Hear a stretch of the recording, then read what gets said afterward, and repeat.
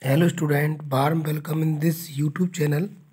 A block is sliding down an inclined plane of inclination 30 with an acceleration of g by 4.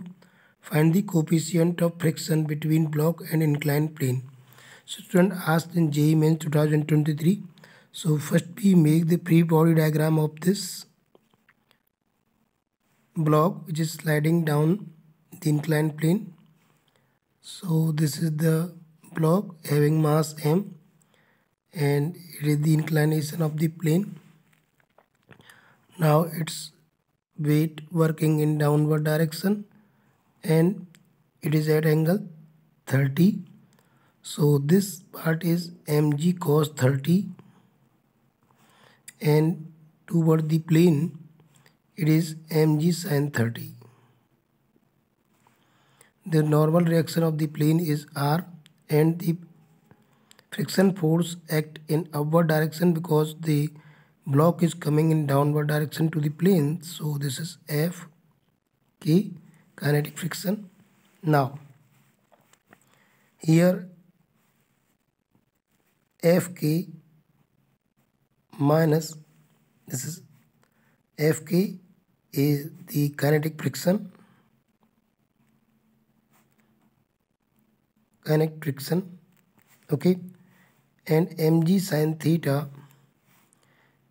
is bringing this block toward the down the plane. So it is more than fk.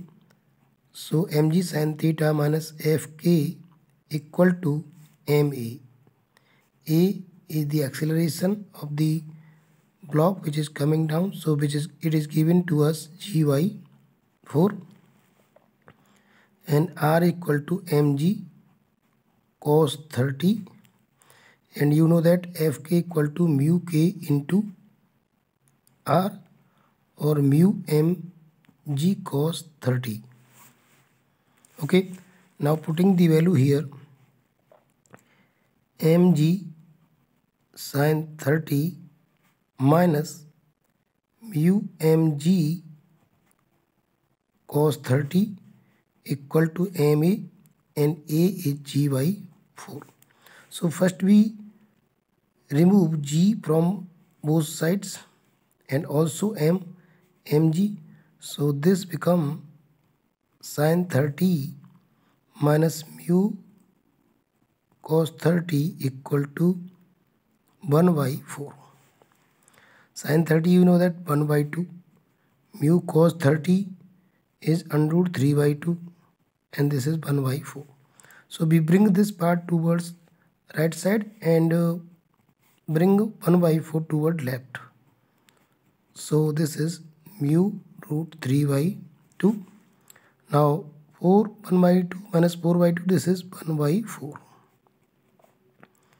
mu into root 3 by 2 2 2 is 4 so mu equal to how much 1 upon 2 root 3 when we divide this. 1 by 2 by root 3 we got this. So this is the answer of the question which is given in option B. So student I hope you got it. Please like the video subscribe the channel. Thanks for watching